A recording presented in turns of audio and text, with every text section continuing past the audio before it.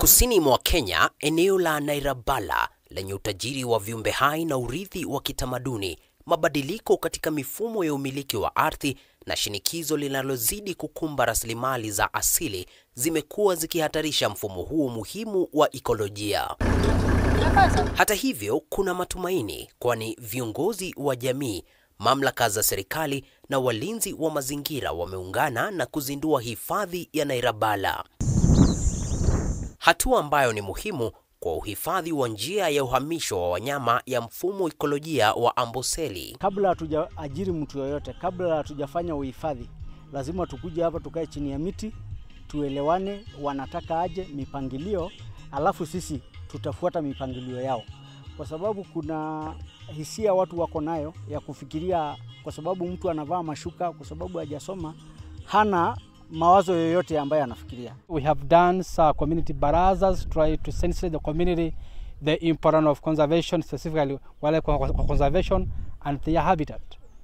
Uh, due to that, the community has also felt that conservation of natural phenomena has a lot of benefit to accrue. At the moment, the benefit the community has accrue, you know, get benefit of. There, some students have been awarded full scholarship the university levels, college levels, secondary levels, and also some of the professionals have been employed in wildlife sector, in specifically in the big life. Njia hizi ni muhimu kwa wanyama pori, hasa ndovu wanapotoka mbuga moja hadi nyingine wakitafuta malisho. Mojawapo wa makubaliano kati ya jamii inayoishi hapa Nairabala na wakfu wa Big Life Foundation ni kwamba hawataweka ua katika mashamba yao, ila tu katika maboma ambayo wanaishi. Hii ni kuwapa wanyamapori nafasi bora ya kwenda malishoni kutoka mbuga ya wanyama ya Amboseli. Elephant or other wildlife organism, they normally, you know, they, uh, move all the way from Tanzania, Kilimanjaro National Park, through Amboseli National Park to Chuluhil, then the Tsavo West as well as the Tsavo East.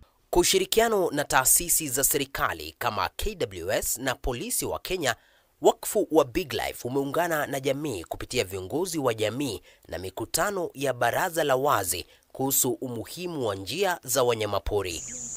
Kama njia ya kuwapa sababu na motisha, wakfu huo unashirikisha jamii kwa kutoa nafasi za ajira, kufadhili watoto na kuchimba visima ambavyo ni muhimu sana kwa jamii ya wafugaji. Na kwa sababu tunazingatia hiyo, kwa sababu tunajua mtu akiweka shamba yake kwa uhifadhi, tayari huyu mtu hajasaidia tu jamii, but amesaidia Kenya kwa ujumla, kwa sababu unajua ni kitega uchumi uhifadhi wa wanyama.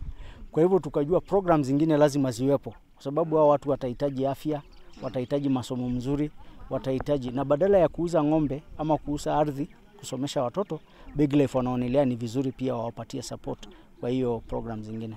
Kupitia zaidi ya wamiliki wa ardhi 1780 waliojiandikisha chini ya mpango huo, hifadhi ya Nairabala sasa ina ekari 37,500 za ardhi iliyohifadhiwa.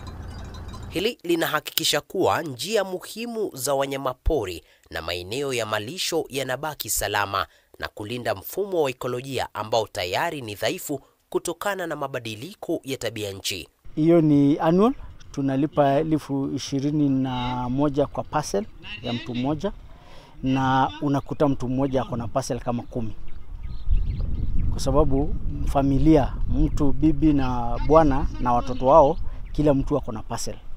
So hiyo pesa ukijumulisha kwa familia ni pesa mingi. Wao wanaangalia tu wale wanyama wako hapa, hakuna wale wanaletwa kuletwa kwa sababu ya kutengesa conservancy.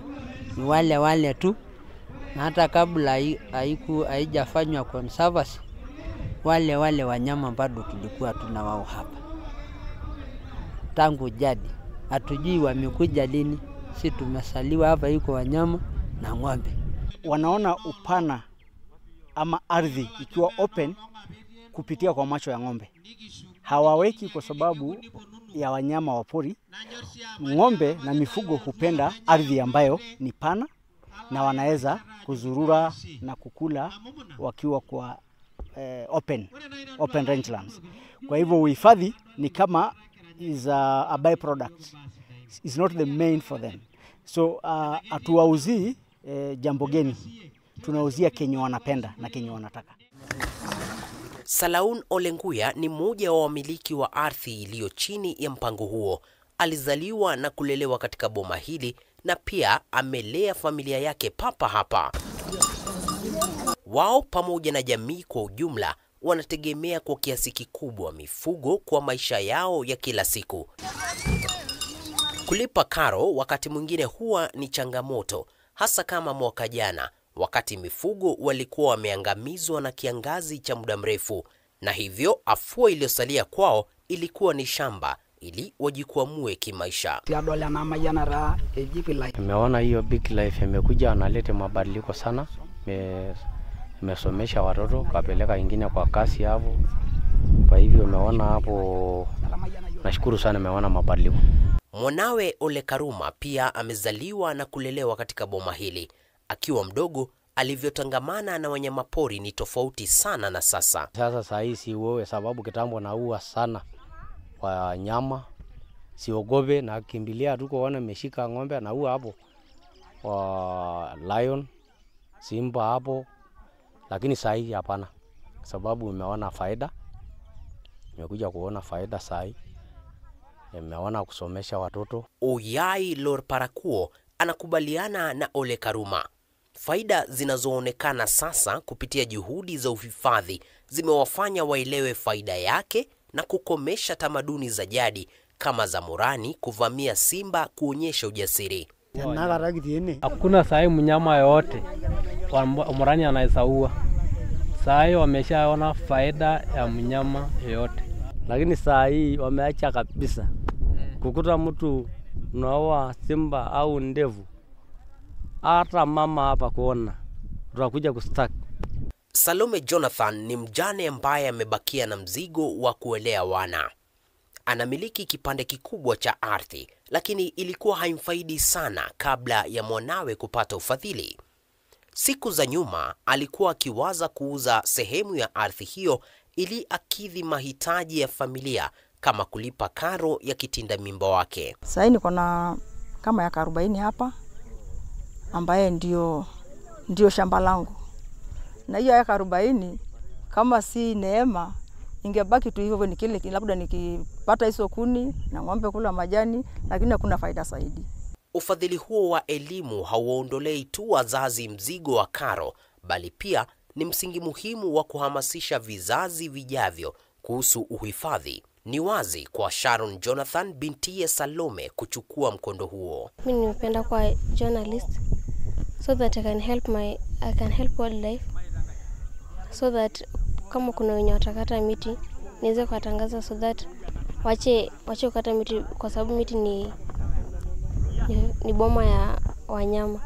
Mtazamo chanya wa jamii kuhusu wanyamapori na uhifadhi pia umefanya kazi iwe rahisi kwa askari wa uhifadhi. Francis Legay, mkuu wa askari wa wakfu wa Big Life, anasisitiza umuhimu wa kupokea habari kutoka kwa wanajamii. relation. You have to have public relation with the entire community. Without public relation with the community, you can't get nothing. That this area is a huge area, more than 2,000 kilometers. is a wider Narabala haze. You can't say I will be each and every part of this area. But with the help of the community, with the help of the people, you can be able to, to safeguard the wildlife, which actually it is a huge corridor that links link Amboseli and Chulu. So you can be able to get more info information of intruders, people who are maybe targeting the wildlife. You'll get from the local people. Licha ya changamoto zilizopo ikiwa ni pamoja na zile zinazokumba askari wa jamii, ushirikiano ni suluhu ya kudumu ya uhusiano wa binadamu na wanyamapori huko Nairabala. In this locality or in the Masa area, we there's this thing called clanism. Eh? Ten, ten clans in this area. So whenever you do any recruitment, you have to consider each house. Otherwise, you will get it rough in terms of politics. So it's not easy to, just walk in and say, I recruit five. What of the other houses? Yeah.